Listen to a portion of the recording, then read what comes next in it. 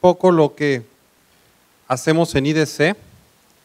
Eh, somos una firma analista que el año pasado cumplimos 50 años y que nos dedicamos única y exclusivamente a observar cómo las organizaciones, cómo los gobiernos adoptan y utilizan las tecnologías de información y cómo las economías crecen gracias al uso de las tecnologías de información. Es decir, no vendemos tecnología, no implementamos tecnología, no somos revendedores, somos observadores que nacimos hace 50 años para dar seguimiento a esta industria. Eh, somos parte del, del, grupo IDG, que seguramente muchos de ustedes ubican a IDG por alguna de sus publicaciones, la revista Computer World, la revista PC World, la revista CIO y una serie de medios que lo que necesitan es contenido, análisis y el grupo de analistas lo provee. En este sentido, les voy a compartir un poco de cuáles son esas tendencias que están impactando las distintas economías y cómo vemos la oportunidad para Nicaragua en esta alineación de estos cuatro grandes pilares. Hablamos de la nube, lo vimos en el video, cloud, mobility, toda la adopción y crecimiento de dispositivos móviles, big data o analíticos y toda la parte social. Eso está haciendo que hoy eh, se hable de una tercera plataforma. Si vimos en el video, la segunda plataforma, nosotros estamos hablando como analistas, un fenómeno igual al que se, dio por ahí de 1985 cuando IBM lanzó la PC, el cómputo personal. Cambió la manera de hacer sistemas, cambió la manera de registrar eh, pólizas en las organizaciones, cambió la manera de, educar a los estudiantes y de crear nuevas eh, carreras tecnológicas, que, eh, cambió la manera de proveer servicios hacia los ciudadanos desde el punto de vista de gobierno. Hoy estamos viendo un fenómeno similar cuando estas cuatro grandes tecnologías convergen y están proponiendo nuevas soluciones a, a muchas industrias. Por eso le llamamos la tercera plataforma.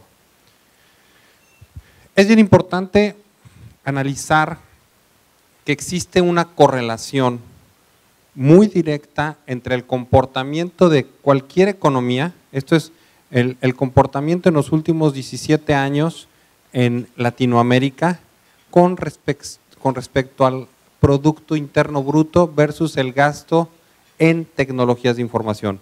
Cuando las economías van creciendo, cuando se van y eh, eh, se está dinamizando y está habiendo más comercio y más consumo interno, también hay un mayor índice de gasto en tecnologías de información. Cuando las economías eh, tienen una contracción, una restricción, también el gasto en tecnologías de información eh, sufre una caída. Entonces, es importante reconocer que va muy de la mano con el comportamiento económico esta industria de las TICs. Pero es muy importante también saber cómo están ustedes con respecto a los países que conforman eh, Centroamérica. ¿Cuánto vale el mercado de las TIs en Nicaragua? ¿Cómo se está dando ese crecimiento hacia los siguientes cinco años? Eh, y hemos nosotros determinado que el valor mercado al cierre del 2014 eh, tiene un valor de 341 millones de dólares. Eh, esto es, si lo comparamos economía contra economía, es decir, cuánto vale el mercado quizá de Panamá o cuánto vale el mercado quizá de Costa Rica, que son los dos países más grandes, pues sí valen más de 800 millones de dólares, Panamá casi más de 900 millones de dólares, pero es más relevante ver la relación que tiene la industria, es decir, el peso que tiene la industria de TI en el sector económico. Ustedes tienen un porcentaje más alto que Panamá, que Costa Rica, que El Salvador, que Honduras. Es decir, su industria tiene un peso específico de 2.69%. ¿Qué nos dice esto? Uno, que quizá el mercado en Nicaragua no es tan grande y hay una buena penetración de las TICs que están aportando.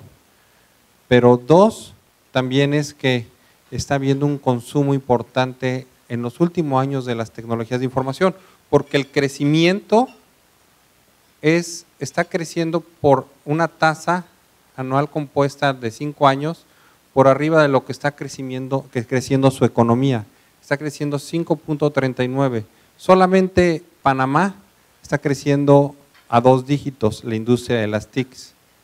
Eh, pero es, es, un crecimiento similar al de, al de Costa Rica, por arriba de Salvador, Guatemala y Honduras.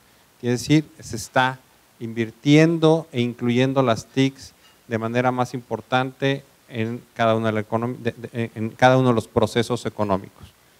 Algo que es importante resaltar, ¿qué pasa con ese gasto? Porque muchas veces se mide cualquier economía en, en cuánto vale el Producto Interno Bruto y en dónde se está destinando ese gasto. Ustedes como país están gastando mucho en hardware, es decir, equipo, PCs, smartphones, servidores, equipo de redes, equipo de impresión. El 82% del gasto en TI viene de, viene de componentes o de equipo o de hardware. El 9% viene de licencias de software y tan solo el 9% viene de servicios profesionales. ¿Y por qué recalco el tan solo? Es muy importante el equipamiento, es muy importante el que haya mayor acceso a equipo de cómputo, el que haya mayor penetración de los dispositivos móviles, el que, el, que se pueda tener mayor conectividad en las universidades, en las instituciones, en las organizaciones, y eso tiene que ver con el hardware. Pero ¿dónde está el valor agregado? Está en los servicios profesionales y en el uso correcto de las aplicaciones. Eh, en una economía desarrollada en el uso de, de las TICs, el 30% llega a ser hardware, el 30% llega a ser software y cerca del 40% son los servicios profesionales. Es decir, son servicios de desarrollo de aplicaciones, de integración de soluciones, servicios de outsourcing, servicios de proveeduría de servicios administrados de TI. Y esa categoría, la categoría de servicios profesionales, es la categoría que llega a emplear mayor cantidad de personas. ¿Por qué? Porque es muy fácil revender tecnología, es decir, importar vamos a, lo más sencillo, celulares, dispositivos móviles de alguna marca cualquiera que sea y reponerlas en el mercado y revender. Pero eso el valor agregado es nulo o mínimo. ¿Dónde está el valor agregado en la industria? En la proveeduría de servicios. ¿Qué se enseña en las universidades? Se enseña a desarrollar sistemas, se enseña a, dar servicios de soporte, se enseña a servicios de integración. Sin embargo, no se está consumiendo en gran porcentaje en la industria de TI. Entonces, aquí es una de las eh, observaciones o recomendaciones. Para efectos de que esta industria crezca, es muy importante empezar a consumir servicios de tecnologías de información las mismas instituciones públicas, eh, porque es donde, donde van a explotar la infraestructura que se está montando. Eh, eh, eso como, como, primera observación y vamos a irlo ahondando cada vez más en, la charla, pero, pero sí es importante resaltar. Ahora, ¿cómo se da el, el gasto per cápita en cuanto a las tecnologías de información? Eh, en promedio en Latinoamérica se gastan 220 dólares al año por persona. En Nicaragua se están gastando casi 56 dólares por persona.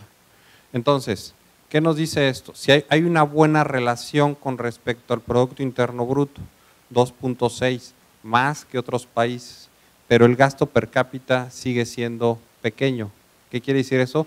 Que el mercado general de Nicaragua es pequeño, la economía como tal de Nicaragua. Entonces, ¿cómo viene, y les digo, desarrollen tecnología o desarrollen servicios profesionales?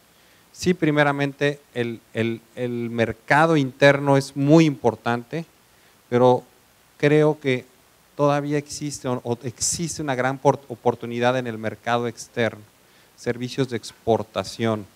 Hoy estamos viendo cómo un Costa Rica quizá ha impulsado mucho los parques tecnológicos para desarrollar servicios de desarrollo, servicios de asesoría a, otros países, los Colan Contact Centers que se están desarrollando, se desarrolló toda una industria muy importante también allá, servicios hacia afuera. Si el mercado interno no es eh, tan atractivo como lo estamos viendo, el talento que se está generando en las universidades se debe de preparar para atender el mercado de afuera y, obviamente el mercado interno, pero hay que ver qué está pasando, dónde están las oportunidades, dónde están los nichos de oportunidades. Tampoco se puede competir siendo generalistas, es decir, la hago de todo.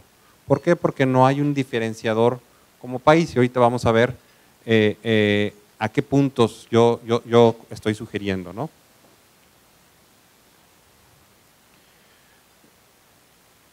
Estos son reportes públicos. Justo esta semana acaba de salir el, el GCI, que es el del Foro Económico Mundial, el índice de competitividad. El, el otro índice que maneja el Foro Económico Mundial, es el Network Readiness Index, en donde aquí, si vemos la línea azul, azul fuerte, es cómo, cómo está Nicaragua de acuerdo a la evaluación del Foro Económico Mundial, la línea gris, gris es cómo está eh, Latinoamérica y Caribe en, en promedio, y vemos varias líneas de acción en donde Nicaragua tiene que trabajar. Tiene que trabajar en permitir y crear una educación eh, eh, universitaria que pueda competir con al menos los otros países de Latinoamérica. Hay una línea de acción muy importante que se tiene que fincar en cómo desarrollamos mayores y mejores competencias en los egresados, cómo estamos alineados para que tengan un mejor impacto en la economía global, ¿cierto? Dos, eh, tiene que ver también con innovación. Hay un nivel de innovación bajo y cuando y me hace mucho sentido cuando veo el gasto de servicios profesionales que es muy bajo, entonces por eso creo que la innovación en este índice sale muy bajo. Hay que incentivar que las organizaciones desarrollen tecnología. Y cuando digo desarrollen tecnología, no es crear computadoras, eso dejémoslo que lo hagan quizá economías más robustas, no es crear un smartphone, eso que lo hagan eh, eh, compañías asiáticos que tienen mucho volumen. Más bien desarrollemos aplicaciones quizá móviles, móviles que tengan un impacto directo en el quehacer diario de, la economía que están ustedes perteneciendo o de las industrias que van a atender. A eso me refiero. Eh, otro punto relevante tiene que ver con la disponibilidad y las habilidades tecnológicas. Eh, son áreas en donde se tiene que construir y trabajar como país. Y para ese efecto se tiene que plantear un plan de desarrollo, yo le llamo un plan digital eh, de largo plazo, en donde se tiene que trabajar con la academia, y qué bueno que, veo que aquí hay mucha gente de la academia, de las universidades, se tiene que trabajar de manera muy puntual con la academia eh, para efectos de atraer uno, a, los estudiantes. Dos, instruir en las tecnologías y en las habilidades correctas. Y tres, también que haya estrategias de reconversión. En todos los países vemos egresados de otras carreras, quizá no de TICS, que, que terminan poniendo su negocio, que terminan poniendo o, trabajando en otros servicios y que no necesariamente trabajan de lo que han egresado. Pero también tiene que haber estrategias para cómo se reconvierte esas personas para incorporarse al mercado de las TICs, que es, repito, es muy bien pagado. La verdad es que en comparación con las otras industrias, paga bien, si se generan servicios, hay muy buen margen y entonces se crece la economía. Entonces, son dos estudios públicos, pero que nos indican en dónde tiene que empezar a trabajar Nicaragua para crecer esta industria. Bueno, ¿qué, viene y qué transformaciones vemos en el horizonte? Eh, la adopción tecnológica no se puede parar, no se puede detener y hay muchas transformaciones. Uno, decía yo, el crecimiento acelerado de los dispositivos móviles. El mercado de ustedes crece al 22% año contra año, el mercado de adopción de los smartphones. Dos, eh, estamos observando el famoso Internet de las cosas o Internet of Things, como se lo conoce en el mercado global. ¿Qué quiere decir eso? Que hoy las transacciones y el volumen de información no necesariamente está ocurriendo únicamente en los departamentos de sistemas. Está ocurriendo más allá donde los usuarios tienen una conexión.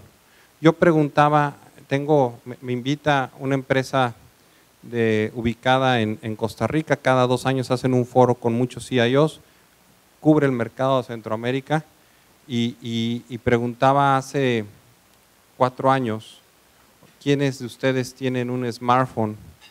Y prácticamente la mitad del foro decía, yo tengo un smartphone. Y hace dos años preguntaba, ¿quiénes de ustedes utilizan un smartphone y una tableta? Y otra vez la, la, mitad del foro, un poco más, empezó a alzar la mano. Y este año fue en, fue en el mes de mayo, creo, mayo, junio, y, pregunté, oye, ¿quiénes de ustedes tienen un wearable? ¿Qué es un wearable?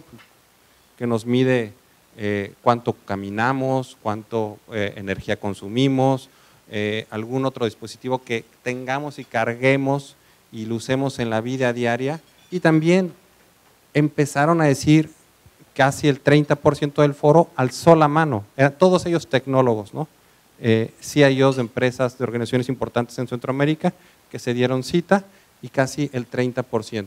Y en dos años, quién sabe qué voy a preguntar, pero es, eh, es de resaltar cómo en dos años cambia de manera muy rápida el uso de las TIs.